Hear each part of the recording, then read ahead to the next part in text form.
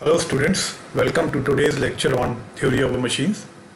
In continuation with the topic of brakes, let us today discuss the analysis of band brakes. In previous lectures, we have already discussed about the band brake and its classification. We learned that band brake consists of a belt and a flexible steel band lined with friction material which is pressed against the external surface of a cylindrical drum when the brake is applied. The force is applied at the free end of the lever. We also learned that band brake are of three types simple band brake, differential band brake, and band and block brake. So, in today's lecture, we will discuss about the simple band brake and try to derive equations needed for its analysis. Let's first understand the construction details of band brake and its working. So, as you can see here, this is the drum around which this belt or the bend is wound. One end of this bend is fixed to the lever then this lever is hinged at this point. The other end is fixed to the lever again. Now as the drum is rotating in order to stop this drum the force will be applied in this direction as shown here on the lever so that the belt is pressed against the drum and the drum stops. Let's see how does it work you can see the drum is rotating and this force is applied. So the belt is pressed against the drum and the drum is stopped and hence the brake is applied. We'll see once again. So this is how the brake is applied. Now let's see the line diagram and see the forces involved in it. So this is the drum which is rotating in a clockwise direction. This is the lever which is hinged at this place. One end of the belt is attached to this hinged position and other end of the belt is fixed here on the lever. The distance between the fulcrum point and the other end of the belt is A and the distance between the fulcrum point and the point at which the force is applied on the lever is L. That is nothing but the length of the lever. You can see this that the belt is wrapped around this drum in this portion and the angle subtended by this portion is nothing but theta and this is known as angle of wrap or angle of contact. The radius of the drum is r. So these are the construction details and suppose now this force P is applied so this portion will be moved in the upper direction in this direction as shown. So this will get tightened so we have the this as the tight side and this as the slack side. You can see there will be tension in this belt T1. This will be the tight side and there will be tension in this belt also T2 which will be less than this T1. So it will be the slack side. As the drum is rotating in the clockwise direction and we are pulling the belt in this upward direction, so there will be a tension developed in this portion of the belt and this portion will be the tight side and thus this portion will be the slack side. Now let us try to understand the concept of this tension, how this become tight side and this is the slack side and why this tension T1 is more than this tension T2. For this let's visit the topic of belt and pulleys which you might have learned in the subject of mechanics maybe in your first year. So let's revisit it and try to understand the concept. To transmit torque from one shaft to another effectively, it is necessary that the belt does not slip over the pulley. To understand the action of belts on pulley, consider a belt resting on the rim of a pulley, as shown here. The belt is wrapped around the pulley to subtend an angle theta at the center. The belt is tightened on the pulley by applying an equal amount of pull on the two ends of the belt. This results in an initial tension T on each end of the belt as shown here. Now if a small torque or tangential force F in the clockwise direction is applied to the driving pulley, it tends to rotate the belt with it as shown here. But if the motion of belt is resisted, the pulley will have a tendency to slip over the belt. Let's see the effect of tangential force applied by considering the equilibrium of pulley and belt separately. So let's draw the free body diagram separately. Now, considering the equilibrium of pulley, it can be said that slipping of pulley is prevented by frictional force Fp acting in the counterclockwise direction. as shown here. This is the force F that is applied to rotate the drum. So a friction force in the counterclockwise direction will be developed that is Fp and this Fp will be equal to F as per the equilibrium condition. Direction of frictional force will be anti-clockwise because the drum is rotating in the clockwise direction. So the velocity of the drum at this point will be in this direction. So the similarly considering the equilibrium of the belt it can be said that belt will be prevented from slipping in the counterclockwise direction. That is opposite to that of pulley due to frictional force Fb equal to F in the clockwise direction opposite to that of pulley. So there will be a equal and opposite frictional force developed in the belt as shown here. So Fb will be in the clockwise direction and Fb will be equal to Fp and both of these will be equal to the force F applied according to the equilibrium condition. The frictional force in the belt results in increased tension on one end of the belt T1 and a decrease in tension on the other end T2 such that by the equilibrium of forces in the belt we can write that T1 will be equal to T2 plus F. As T1 is in this direction and F and T2 are in this direction. FB and T2 are in opposite direction. So T1 will be equal to FB plus T2 as seen from the diagram.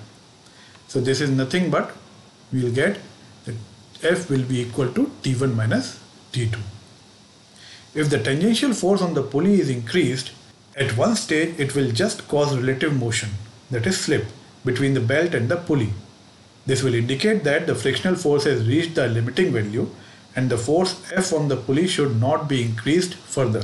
Now consider a belt and pulley arrangement as shown in figure. Here a belt with an initial tension T passes over the driving and the driven pulley. This is the driving pulley and this is the driven pulley. On the driving side, the belt would rotate with the pulley with no relative slip between the two as long as the tangential force on the pulley F which is equal to T1 minus T2 is less than the frictional force as we discussed earlier. On the driven shaft, the pulley rotates with the belt in the clockwise direction which means that pulley can have a tendency to slip back in the counterclockwise direction. This implies that the belt will have tendency to slip over the pulley in the clockwise direction, meaning a counterclockwise frictional force equal to T1 minus T2. So on the driven side, the counterclockwise frictional force will be acting that will be equal to T1 minus T2. Thus we say that in clockwise rotation, tension T1 will be more and tension T2 will be less. And thus this lower portion will be the tight side with higher tension T1 and the upper portion of the belt will be the slack side with lower tension T2.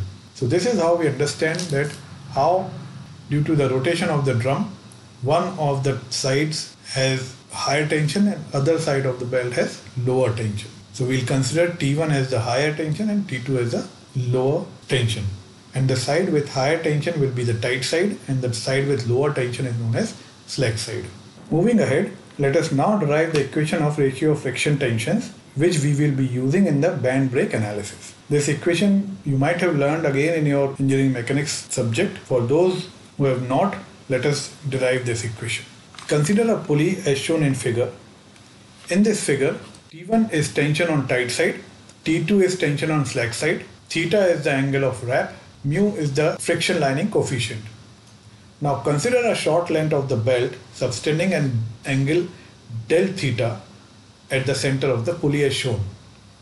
So this is the small element that we have considered and we'll just try to find out the tensions here and then we'll integrate to obtain the ratio of the tension. Here there will be a normal reaction on the belt by the drum N is the normal reaction on this element T is the tension on this side this will be the slack side as the drum will be rotating in the clockwise direction and T plus delta T is the tension on the tight side. Delta T is the increase in tension on the tight side than that of the slack side. Tension T and T plus delta T act in the directions perpendicular to the radii drawn at the ends of the elements as shown here. This is perpendicular to this radii. This is, this is perpendicular to this radii. The friction force mu n will act tangentially to the pulley rim resisting the slipping of the elementary belt on the pulley. This is the direction of mu n as the drum will be rotating in the clockwise direction.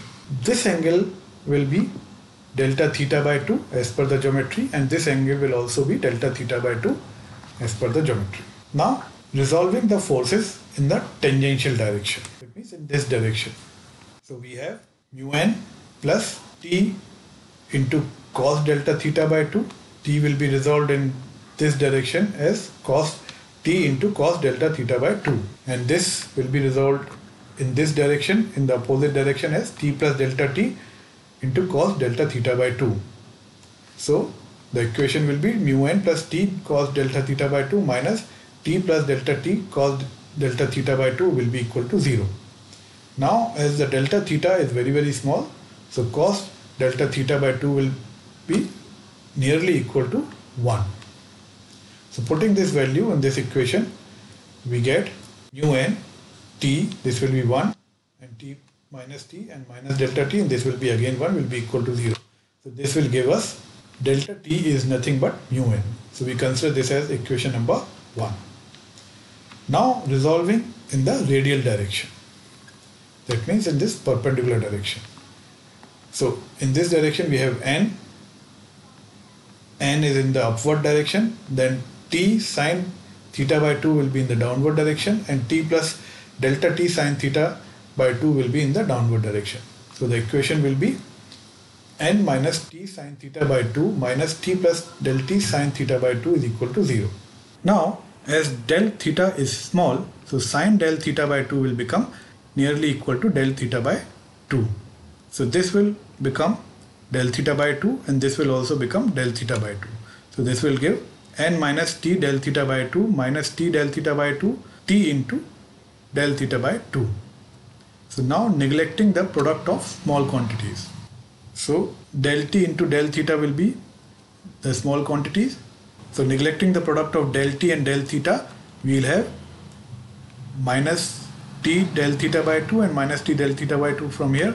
So this will both add up and give us t del theta. So we will have finally n will be equal to t del theta. Now inserting this value of n in this equation 1, we get del t is equal to mu into t del theta, which can be rewritten as del t upon t is equal to mu del theta. Integration of del t upon t, integration of dt upon t from t2 to t1 will be equal to 0 to theta mu d theta. So after integration we have log of t1 upon t2 will be equal to mu theta. This is the log base e. So this can be written as t1 by t2 is equal to e to the power of mu theta. So this is the ratio of the tensions. This equation we will be using very frequently in the analysis of band brakes. I should also mention here that if the rotation is counterclockwise, then this side will be the tight side, T1 will be here, and this side will be the slack side, that is T2 will be here. So this is all for today's lecture. We'll proceed with the analysis of simple band brake in the next class. I hope you have understood the concept of tight side and slack side, why the tension T1 is more than the tension T2. In case of any doubt, please feel free to contact me. Thank you.